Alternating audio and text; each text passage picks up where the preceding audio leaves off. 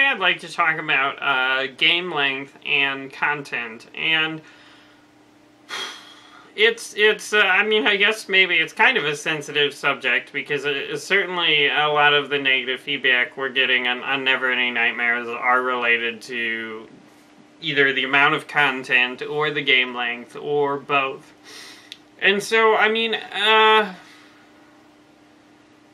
I really don't understand exactly where the critics are coming from, and uh, I don't mean to say this as, you know, a defense of, you know, Neverending Nightmares being a, a perfect game, but more that, you know, I want to understand um, what's going on and and why um, people, uh, you know, are not uh, why uh, not everyone loves Neverending Nightmares, and so.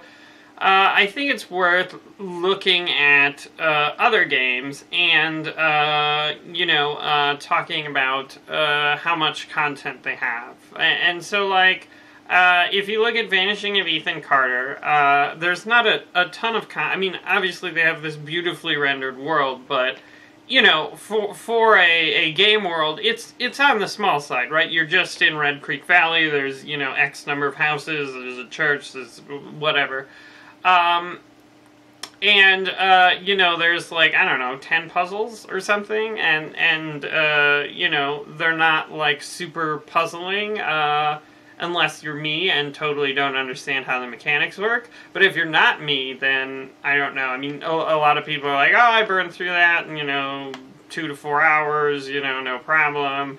And I think maybe I, I spent like, uh, you know, three or four hours on it, you know, after failing miserably at it for like 45 minutes and then using a walkthrough and then getting confused and I don't know. I, uh, had trouble finding places and stuff, but I mean, I think in terms of, you know, generating a lot of content, a lot of the content in, in, um,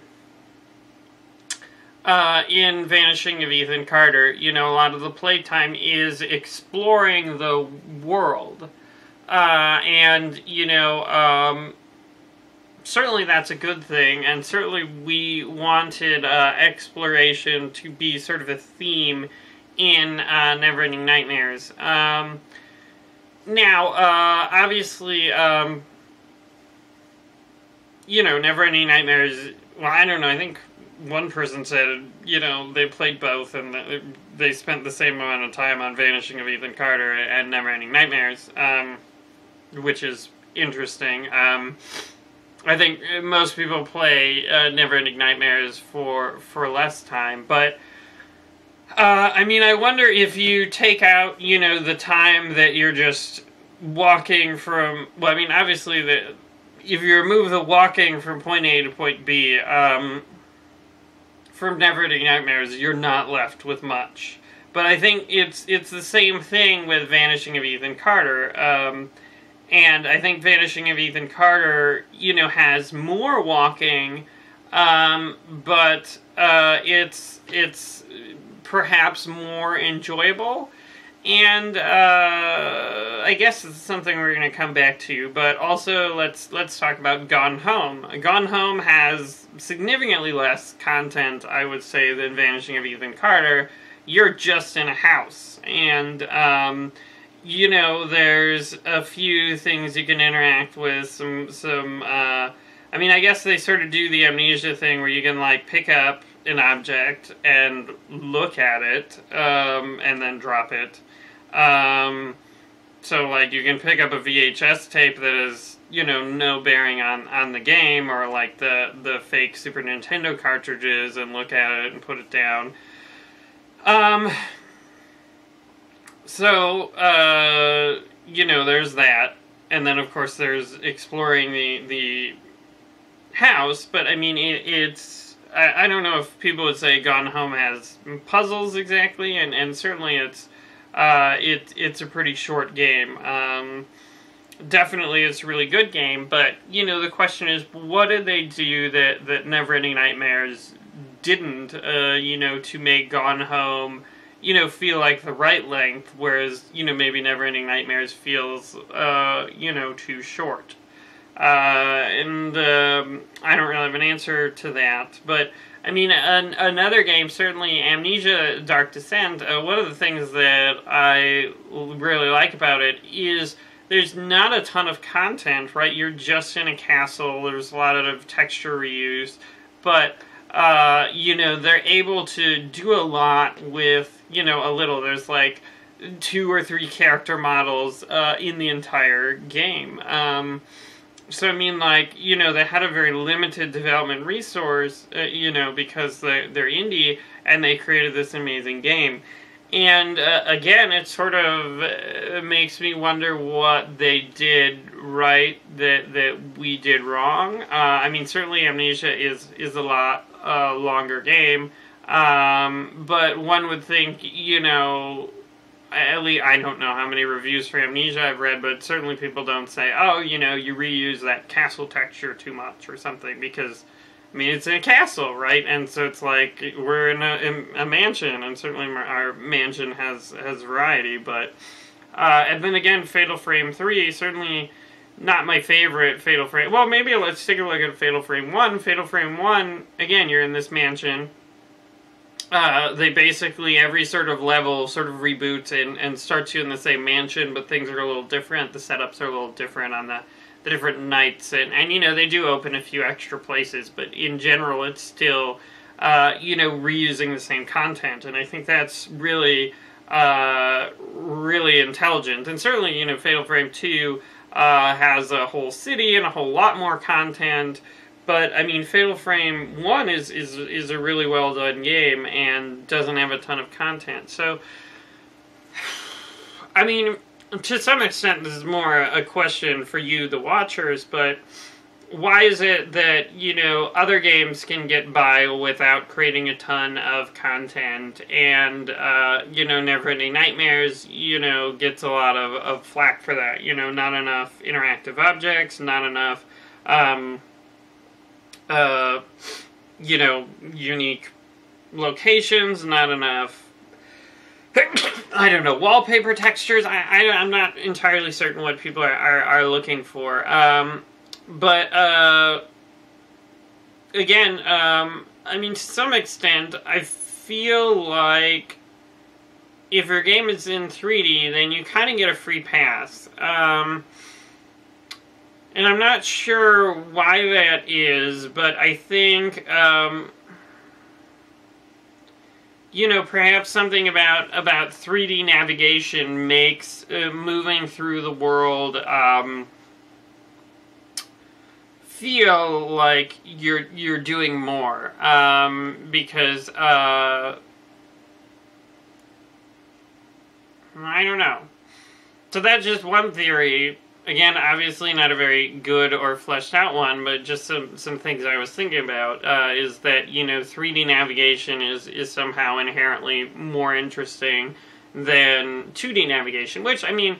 I, I certainly can see, you know, like in Neverending Nightmares, it's a lot of moving left to right, sometimes right to left. You know, you go up and down stairs, and you go, um, uh, you know, into the screen for some doors and some um, you know corners and hallways, but I mean uh, it's it's certainly not the same thing as, as navigating a, a, 3D world. Even though we tried to sort of plan out a 3D world and make the uh, rooms correspond to that. Um, so I mean, you know, I would like to continue making uh, stylized 2D horror games. So uh, if that's the case, that's uh, sort of bad for me. Uh, if if the only way to to make you know navigating uh, the world compelling um, is to do it in 3D.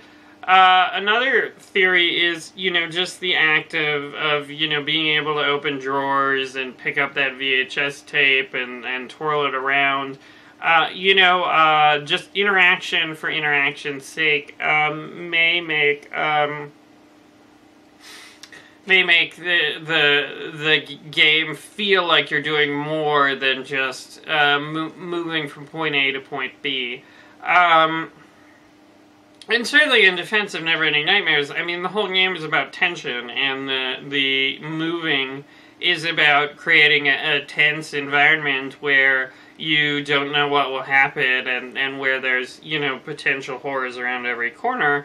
Um, but I mean, I'm not trying to do this video to, to defend uh, Neverending Nightmares, uh, you know, the merit of the game. Um, because I mean, I, I don't know. I, I mean, I, I, think I would rather, you know, just try to understand uh, the, the, the the critics and and potentially improve.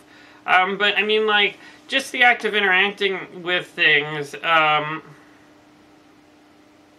I don't know if that's enough or that if that's uh, you know because some people have criticized you know the interactions uh, don't further the the game. Um, Whereas, you know, I mean, certainly I think in, in Gone Home, uh, a lot of the interactions don't, you know, picking up that SNES cartridge uh, is not like, oh, this is the important plot point SNES cartridge, although I think they were talking about SNES cartridges and some, some of the letters, but I think it's, um, entertaining because you're like, I remember having a SNES cartridge. Well, I have a lot of SNES cartridges, but uh, maybe not everyone still has their their SNES.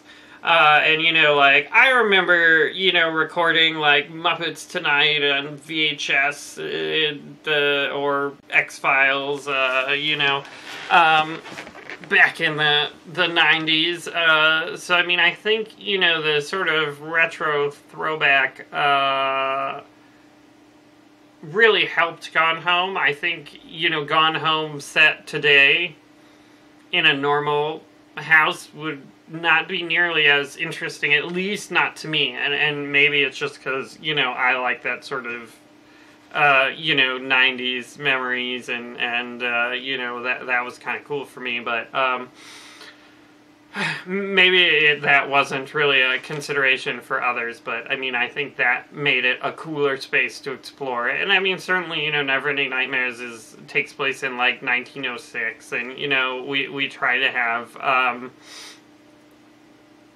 you know, interesting interactions. I mean, certainly we, we've gotten some flack for, uh, you know, doing the closer look on the the backer portraits, which I guess maybe in hindsight was not the best idea, um, but our rationale was during production we drew these beautiful versions of everyone's faces, and then we realized they totally didn't fit the art style. So then, you know, towards the, the tail end of development, you know, a, a, a, lot of people requested more interactions, and so we're like, okay, we, we can do that, sure. Uh, and and certainly, if you look in the past month, we got a lot more uh, interactions in. Um, but you know, uh, I guess you know these weren't interactions that revealed uh, anything about the the story. I mean, certainly they weren't the most interesting interactions unless you know the the, the person who who backed it or or you it, it's you. Um, so I mean, like you know, but for us, it was just like, hey, we could make the world more interactive if we do these because we've already drawn, you know, the the the more detailed faces. Uh, so for us, it was just, you know, this is a way we can easily get in more interactions because we screwed up, you know, in production, uh, and otherwise would have just wasted all these beautiful drawings we did. Um, you know, more so than we felt like, hey, the game definitely needs these interactions. But I guess, you know, interactions for interactive's sake doesn't necessarily, you know, placate all the critics, but uh, at that point, right, like, um, I don't know. I don't know. It's it's confusing. Uh, to be honest, it's a little discouraging. Um, because I'm thinking, you know, for the next game, right, like, we're not going to have a huge budget. Um, and, uh, you know, it, it's definitely going to be, you know, trying to make the most of, of you know, the art time we have. Uh, and, um, I don't know, um, Well, it, it'll certainly be interesting to see um, uh, how that, uh, you know, what we can do and, and how we can address that in, in future projects, or, or maybe we don't, maybe we can't. I, I don't know, but it's certainly something I, I'm thinking about, so uh, anyway, I figured I'd record the developer diary and, and uh, maybe ask you guys and, and, and see if you guys have any better ideas than I do. Anyway, thanks for watching.